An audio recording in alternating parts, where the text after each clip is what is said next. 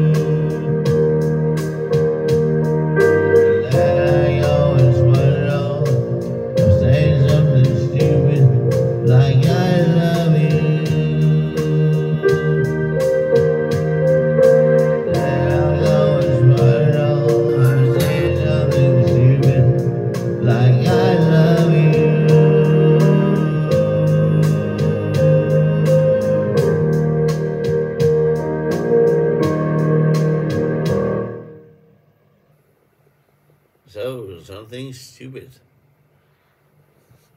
Wasn't that a little song that they produced though, wasn't it? Enjoyed it. It was uh, nice little sing-along. Okay, but I shortly with some more for you. Okay. See you soon. Bye.